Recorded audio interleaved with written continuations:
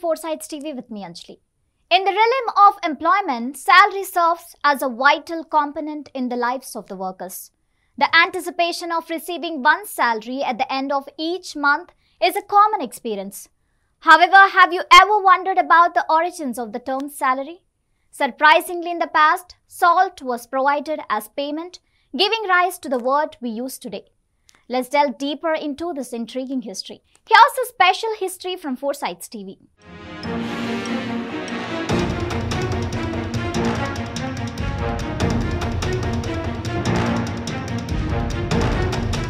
Ancient Rome utilized salt as a form of currency rather than money. Soldiers within the Roman Empire were rewarded with salt for their service during that era.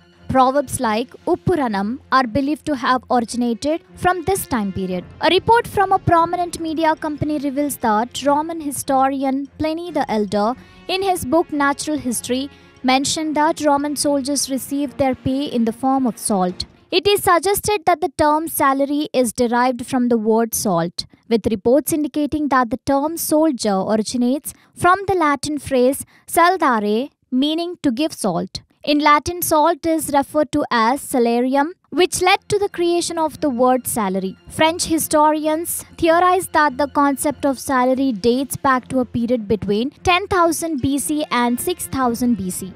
In ancient Rome, salt was exchanged for labor, and soldiers in the Roman Empire were compensated with a handful of salt as payment. The salt trade flourished during this time. So, finally, in conclusion, while the word salary may seem like a simple term, its history is rich with meaning and significance. From its humble beginnings as a payment for salt to its modern day role as a key component of employment, salary plays a crucial role in the lives of working individuals. Next time you receive your paycheck, take a moment to reflect on the journey of the word salary and the centuries of history behind it. Thank you for watching 4Sides TV with me, Anjali.